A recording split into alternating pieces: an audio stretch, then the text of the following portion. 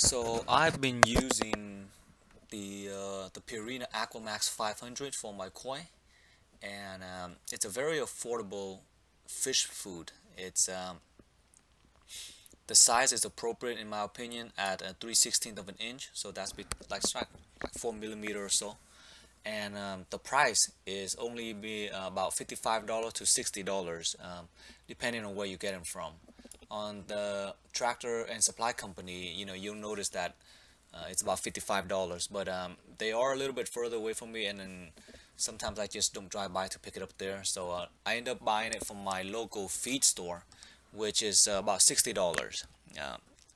now this fish food is uh, made primarily out of fish meal, right? Uh, well, I shouldn't say that.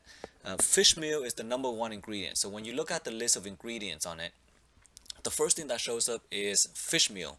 Uh, fish meal is basically just ground of fish, you know. So uh, the aquatic protein is the number one ingredient, which for me was important because uh, you know fish live in water, so um, the protein coming from the water source is always a good thing. Um, now, this food is actually made for uh, carnivorous fish so it's high protein and high fat.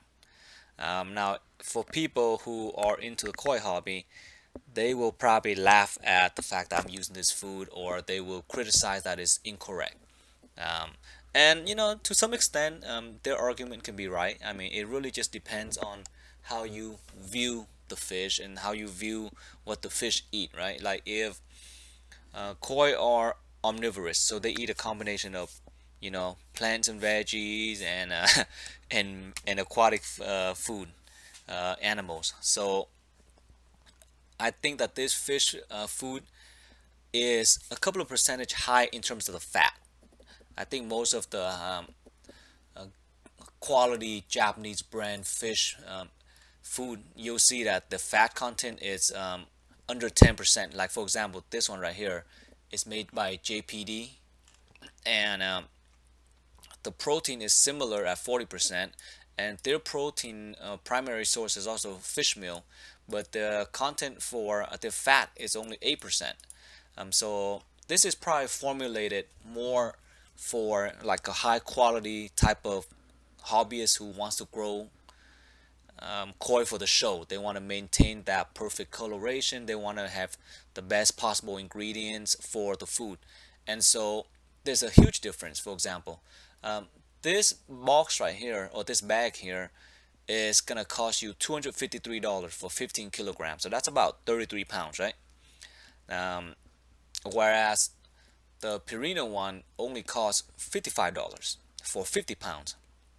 Um, and so it really just depends on where you are in the hobby and how much budget you have and what you're willing to spend on the koi and the koi fish itself.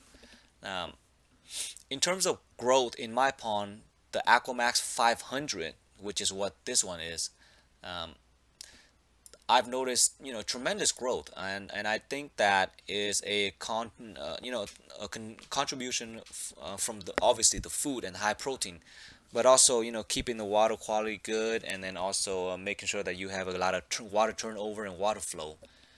Um, so if you can't really swing for the expensive food like the Saki-Hikari stuff um, or the J, JPD type of food, then what you should do is spend more time in trying to improve the water quality so that you can get the most out of the more affordable food.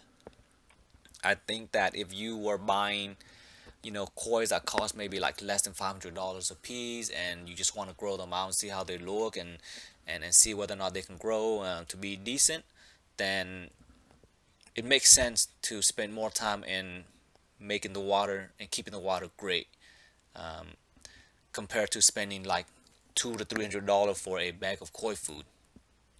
But that's just my opinion you know um, maybe in the future when I get more into the hobby and become more um, more you know hardcore with with the way I perceive things then maybe I will open up my wallet and let myself spend money on this kind of food. Um, but for now I'm pretty happy with this one. Um, this Aquamax 500 right here uh, it floats. It's uh, at the perfect size like 3 16th of an inch so it's smaller than a quarter of an inch and any fish that's about 4 inch or above when you buy at the, the local dealer you know like they, they typically stock them at around four five six inches and above they should be able to, to eat this um, the, the food itself um, it floats. Now, if you throw in a handful, then you know a little bit of it will sink, like you know, like two, three percent of it will, will you you'll see it slowly sink, um, but the majority of it will stay afloat. Um, it doesn't break up in the water, causing the water to become murky. Uh, I know this because I feed them with my auto feeder, and uh, I feed them 15 times a day, and uh, every day I feed like like a kilo or so of food um, so I go through a bunch of these bags, you know, so far this year, and the fish grows really well. The water doesn't doesn't go crazy. Um, I haven't changed my water in over a month um, because I've been using uh, potassium permanganate to help with that as well. Uh, in addition, I have a rotary drum filter which greatly helps. Um, but in terms of the food itself, um, it floats, it doesn't break down, and then when the fish eats it, um, they don't have a problem eating it. They, they seem to just, you know, eat it just like any other kind of food. Um, and also, when they poop, what you'll notice is that it, um, the poop actually comes out, you know, um, in a, a, a sausage-like uh, form. So they're not having diarrhea. They're not going all over the all over the place. Uh, they're not pooping and then it clouds up the water. Um, it just they just poop these solid foods. Uh, uh, I'm sorry, the, they poop out solid waste and it just drops straight to the uh, the bottom of the pond and it gets cleaned out. Um, so that to me is uh, is important. You know, you want the food to stay to be wholesome when they when it gets in the water and then to kind of be wholesome when it gets out as well. Um, so uh, I've feel like I've had a lot of luck with this fish uh, food. It's uh, pretty affordable. Now going into the winter, I'll be changing it out to something a little uh, less dense in protein and lower in fat because you know the winter the fish just kind of need to relax and let their liver and body recover. So uh, it's really unnecessary to feed them at this high protein and high fat. But um, from the fall, well, I should say from uh, late spring up until the end of um, or the middle fall, I think this fish food is okay for me. Um, I've only started using it when I had my new pond, which was back in early March. So um, I don't have like years and years of experience to see how this food will impact the fish.